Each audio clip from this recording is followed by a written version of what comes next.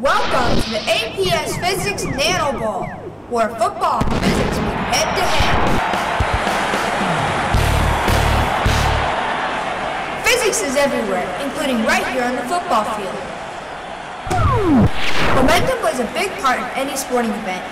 Many people think of it as a psychological part of the game. I am about to show you how it's a real part of football.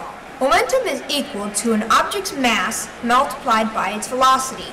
Momentum can be altered by changing the mass or the velocity. Momentum can remain the same if the mass is increased and the velocity is decreased or vice versa. Let's determine the momentum of this 200-pound running back if he is moving at 18 miles per hour upfield.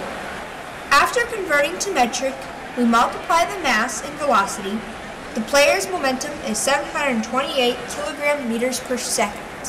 Let's add an offensive back moving in the opposite direction. He weighs 250 pounds, moving at 7 miles per hour. The collision takes place just short of the first down mark. Who will win the battle of momentum? Will he make the first down?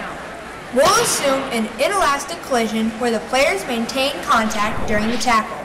The law of conservation of momentum states the amount of momentum before a collision must equal the momentum after the collision.